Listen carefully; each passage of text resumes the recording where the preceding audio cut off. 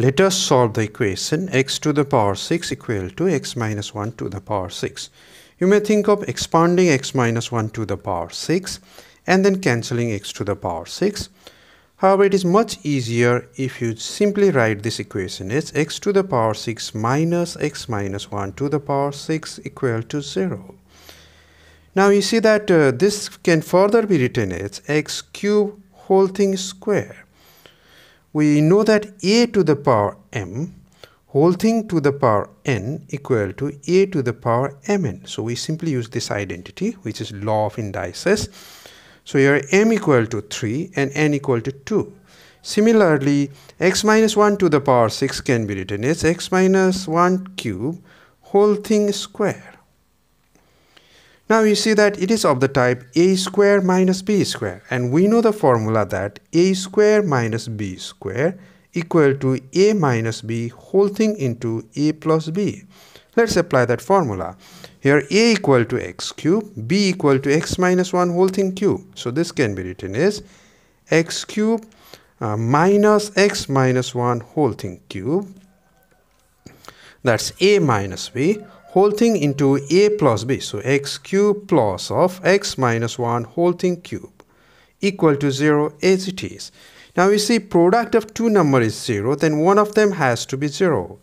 So either x cube minus x minus 1 whole thing cube equal to 0 or x cube plus x minus 1 whole thing cube equal to 0. It may be that both of them are 0 but at least one of them has to be 0.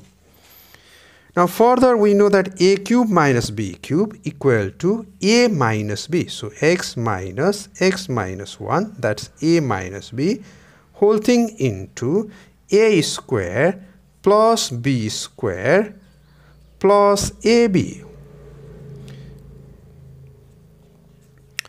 Okay, what about this one? This one will do it separately. Let's uh, focus on this uh, this one only. x cube minus of x minus 1 whole thing cube. So x and minus x will get cancelled. So we'll left out with 1 only.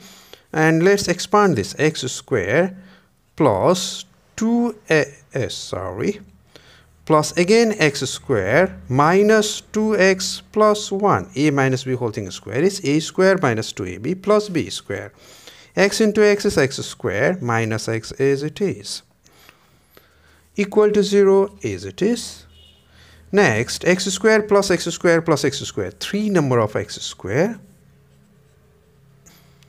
minus 3x plus 1 equal to 0. That's a quadratic equation. ax square plus bx plus c equal to 0.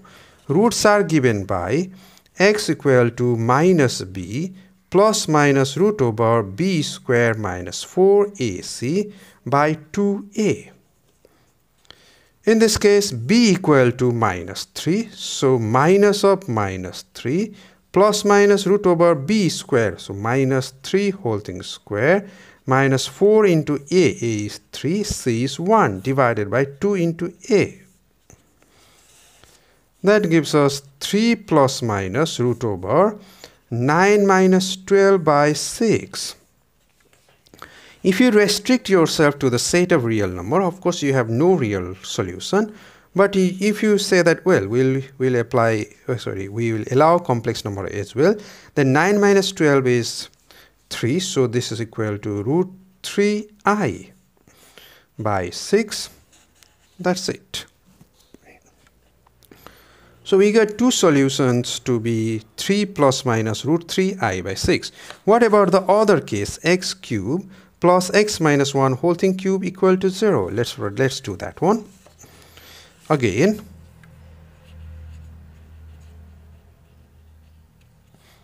x cube